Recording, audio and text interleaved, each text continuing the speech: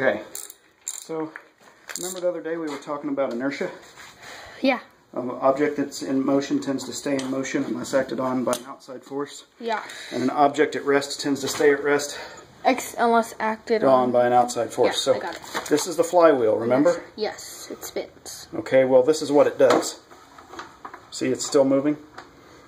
So what this happened? What's this? What's this? It's, it's moving the piston. well, well, no, the pistons the- when Where? when when the piston would have an explosion, it would push down and it would cause this to turn, and it would push up the next one.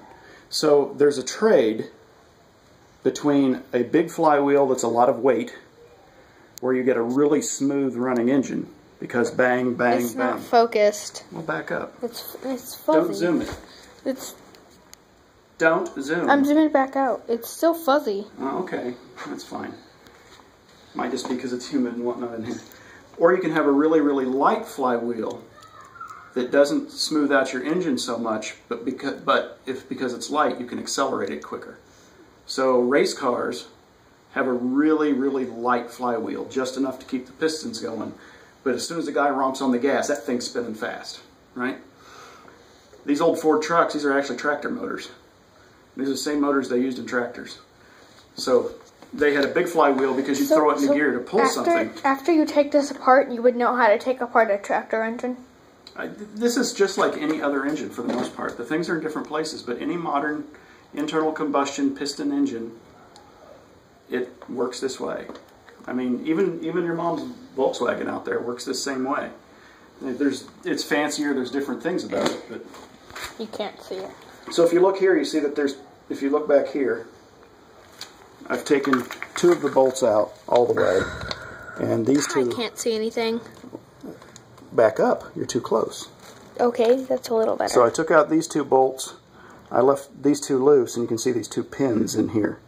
This thing's pressed onto these pins.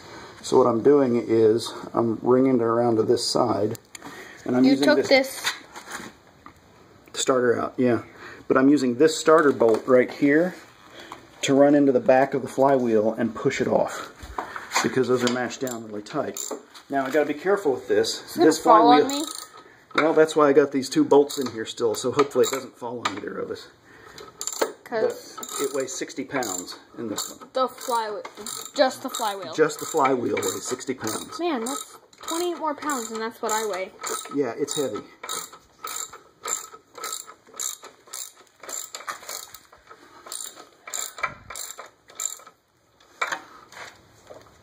And I don't know how long it's going to take to get this off. Just a couple minutes, I think. But Daddy, what, dear? Do you think we could watch the third alien movie tonight? No, because we're going over to Mr. Carl's house tonight.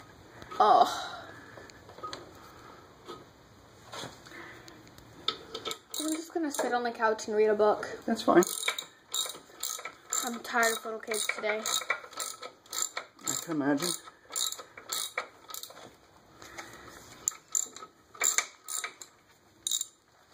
You should bring some of that Cheez It party mix. I don't have any. Yeah, we do. No, do? don't bring the party mix. Bring the white cheddar ones. We do. We have white cheddar Cheez Its and we have party mix Cheez Its. My hands are already dirty and I didn't touch anything. You're a kid. Your hands are always dirty.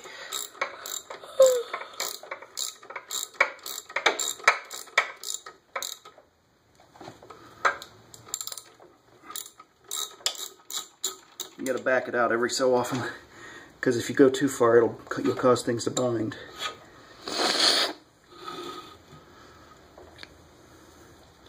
But I think it's almost out. So, why did you put that block of wood there? Because this wasn't at... Ah, see that? yeah. It just It, popped loose. it wasn't at this angle the other day. I got it because it was up underneath and I couldn't turn this thing all the way around. So now Please don't hurt yourself. I'll do my best. You know how that works sometimes.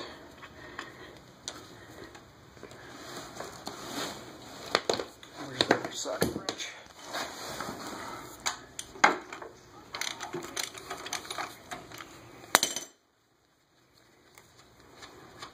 Is there a fourth alien? Okay, here we go. It weighs less than Leah does. It weighs 60 pounds. Less than Leah does. There, that's the back of the flywheel. Woo! And now you see right here, The innards. this is the end of the crankshaft, and now it's, and this is the main bearings right here and the main seal. So right there's the main bearings, this is the main seal that Gosh, keeps the glare. keeps oil and stuff from getting out. I don't know if we'll actually pull the crank out of this or not. Just because it takes some extra doings because of the way it's sitting here. But there we go. That's it. Can stop the filmer. It stopped already. No, it didn't. I don't think so.